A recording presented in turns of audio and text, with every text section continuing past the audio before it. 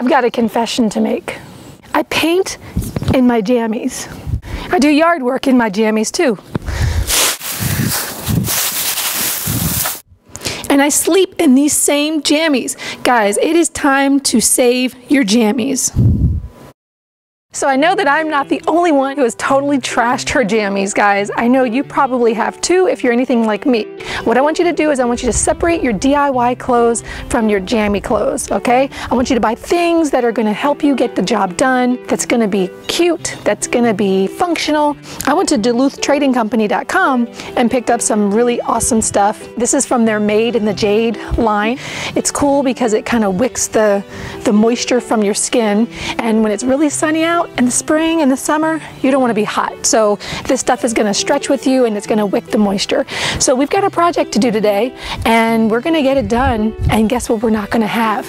We're not going to have the butt hanging out. We're not going to be embarrassing ourselves by wearing our jammies in the driveway, are we? No, we're going to save our jammies for nighttime and make them look really cute. And guess what else we have? We have deep pockets. Look at that. That is awesome. These pants are made for working guys. So I am so totally stoked with all the pockets and the stretch and that my butt's not gonna be hanging out. So we're gonna work on this project today. This is an old sewing cabinet that I picked up from the thrift store. It's got a really cool vintage Singer sewing machine inside. It's cute. We're gonna make it over and we're gonna do it now. Are you ready?